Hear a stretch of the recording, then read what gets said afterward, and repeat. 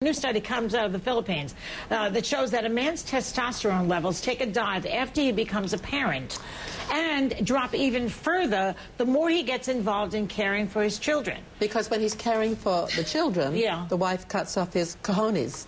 No, that's not it. They're saying that he has a physiological hormon- hormonal change when the wife has a baby, and then the hormones, uh, the estrogen increases, the testosterone drops when he's nurturing. It's like, but I don't, I don't understand. It's like, if I went bowling yesterday, am I going to grow testicles? It doesn't make, you know, I don't get it.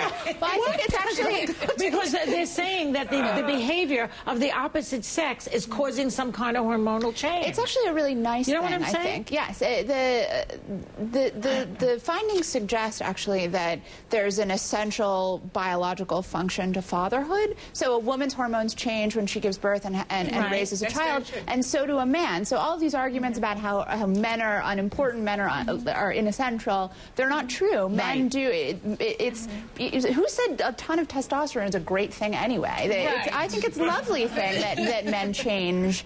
Uh, Don't like you women. wish you had a little more Excuse testosterone? me, does that No. mean I do. I I would like a little more I would like a testosterone. little more too. Let me ask you this. What would you do does, with it? Does this lack of... Uh, it, does does it mean they can't get it up anymore? Excuse me, the show's over here. Just chat amongst yourselves? Yeah. Go Does ahead, it mean they cannot get it up anymore? Is that what it means? No, no, the man can't get it up. No, no, no. It just means that I don't know Well, exactly. of course it means that. That's what it means. I'm not really sure. Yeah, because if he's got a low te- uh, testosterone It doesn't. No, but it doesn't lower his libido. It just changes his Yeah, but they go estrogen. together. They go together. well, that's why we, We should really like- get a scientist on the program Yes. who can enlighten us a little